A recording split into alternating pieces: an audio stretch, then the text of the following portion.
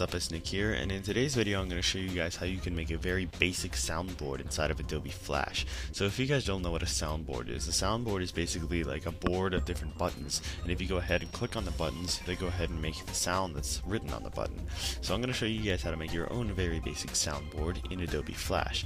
Now unfortunately this is not free because it requires Adobe Flash, but if you have Adobe Flash it'll use any version of Adobe Flash that you want to. It'll even go back and use Macromedia Flash. So if you have an older version of Flash, don't worry. But in today's video, I'm going to show you guys on Adobe Flash version CS5. So anyway, let's go ahead and get started. So to go ahead and do this, you're going to need a few things first. First of all, you're going to need something to record your audio with, or just a sound file that you want to use. But if you want to make your sound using your own sounds, you go ahead and have to have something to record audio with. So to go ahead and record audio, I use a program called Audacity, which you can find at this link right down here at the bottom.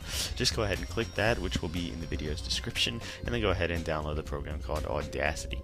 And then what you want to do is you just want to go ahead and open up Audacity. So just go ahead and uh, open up Audacity and go up to File and create a new document. And then go ahead and press record to go ahead and record your sounds. But I've already recorded the sound of me saying hello, which is this sound right over here. So once you have your sound that you want to go ahead and use in your soundboard, and remember you can use multiple sounds, but I'm just going to be using one to demonstrate in this video. So once you have that, you're going to need to download Adobe Flash. Now if you already have Flash, that's great. But if you don't have Flash and you just want to go ahead and try this out, Adobe offers a 30-day trial of Flash for free by going to adobe.com. So all you have to do is just go to adobe.com, which the link will be in the description. And once you go ahead and go to adobe.com, which is uh, right here, you go ahead and scroll down and download Flash Professional. Just go ahead and click on that and go here to try, and then go ahead and click on try there.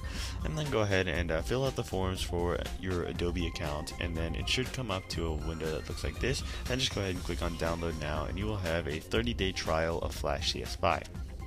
So once you go ahead and have Flash and you've had Audacity and you have everything that you need to go ahead and start, then you go ahead and launch up Adobe Flash. So here's Flash CS5, which is what I'm going to be using. So to go ahead and create a basic soundboard, what we want to do is we want to go ahead and create a new action script. So I'm going to be creating an action script 3.0. Just go ahead and click on that and then it should come up with a board like this. Now you can go ahead and customize your soundboard with animations and uh, background images, but this is just going to be a basic tutorial on how to make the buttons actually clickable and make it when you click the buttons to go ahead and create a sound. This isn't going to be about how to customize your soundboard, it's just going to be about how to make the soundboard work. So I'm going to be making one button that says hello and when I click on it it's going to say hello whenever I click on it. So to go ahead and do that what we want to do is we want to go over here and grab our rectangle tool or our oval tool or anything we want to but I'm going to grab my rectangle tool and I'm going to create just a rectangle right here but it's a white rectangle and so I want to select that and I want to change it to black using my uh, arrow tool. So now I have my rectangle which is going to be my button. So whenever I click on this rectangle it's going to go ahead and it's going to um, click on it and say hello. So I want to go ahead and make it so people know that it says hello whenever you click on it. So I'm going to go over here and grab my text tool and you can go ahead and change the uh, font and the size and pretty much everything else over here but I'm not going to for the purposes of this video. So now I'm going to go here and I'm going to click and drag and I'm going to type in hello and I'm going to select over and I'm going to make sure that the color of it is white. Then I'm going to grab my arrow tool and I'm going to select this little blue box to just surround hello and I'm going to put it into around the center right here. So as you notice that looks pretty good, just a square and hello for a good basic button. But as I said before this is very basic and you can go ahead and customize it any way you want to. So now to make it look like you can actually click on it to go ahead and create the sound effect, what you want to do is you want to select the arrow tool and you want to click and drag and select the entire button and then go ahead and right click on the button and click on convert to symbol. Once that's done, just name it whatever you want to. I'm just going to keep it at symbol 1 for this. And then when you, when you go over here to type, you want to go ahead and select on button. It should be selected to movie clip by default, but you want to go ahead and make sure it's selected to button. Once it's selected on button, you just go here and click OK, and then as you notice, it should be a button. Now here comes the part where you go ahead and add in the sound. So to go ahead and add in the sound, you want to go ahead and double click on your button, and as you notice down here, the timeline should actually change to look about something like this. So if I go ahead and click out of it, this is what the timeline looks like normally, but if I go ahead and click on the button, as you notice, the timeline comes to look like this. And so now to go ahead and add in the effect where it goes ahead and adds in the sound. You want to go over here to where it says down, click on it, and then right click and go to insert keyframe, and then as you notice the keyframe should be inserted.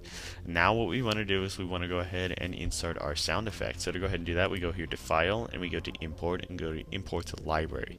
Then we just go ahead and find our sound effect. So here's my hello wave. I'm just going to go ahead and click on open and then it should be in the library. Now you can go over here and select the library by going over to this tab over here, or you can go ahead and do that by clicking Control and L if you're on a PC, and Command and L if you're on a Mac. Once that's done, you should be in the library that looks like this. Now you just go ahead and click on the hello symbol right here, and you can go ahead and click it and drag it to the button. So just to make sure it's the right sound that you want to, just in case you have multiple sounds on your computer, go ahead and click the play button here.